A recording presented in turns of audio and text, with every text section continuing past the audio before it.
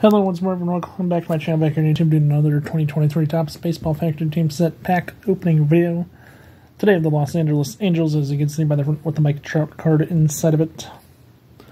I'll flip over, I'll show the checklist on the back before I open it up. if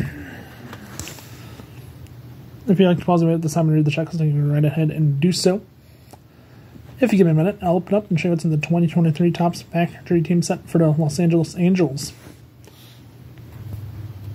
First, card, first cards of Mike Trout, Shohei Ohtani, Taylor Ward, Jared Walsh, Jose, Jose Suarez, Andrew Velazquez. and the second row we have Brandon Drury, David Fletcher, Jimmy Harrigan, Anthony Rendon, Max Stassi, Jo Adell. In the third row we have Shohei Ohtani pitching, Reid Detmers, Patrick Sandoval, Luis Rengifo, and last but not least, the rookie card of Logan O'Hoppe.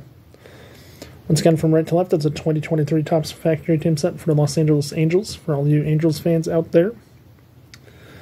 If you like today's video, you can go ahead and like it this time. Please remember to watch, like, and subscribe. Don't forget to tell your friends to do the same if they're not done so yet already. And please also don't forget to hit that notification button below so you know when I upload a new video. With that being said, have a nice day and stay safe, and I'll see you in the next video run. Bye for now, and peace out.